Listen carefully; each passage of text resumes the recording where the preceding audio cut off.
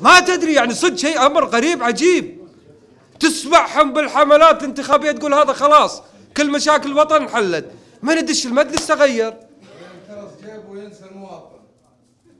فهذا اللي يخلي المواطن تكون مسؤولية كبيرة عليه. هذا ديوانكم وإحنا راح نستقبلكم وقلته كل أسبوعين أثنين وترك. هذا ديوانكم ديوان أهل الكويت. ما هو ديوان خالد فهد الغانم. أي مواطن عنده مظلمة أي مواطن عنده شكوى أي مواطن يشوف فساد ايني وإحنا بإذن الله نوصل صوته.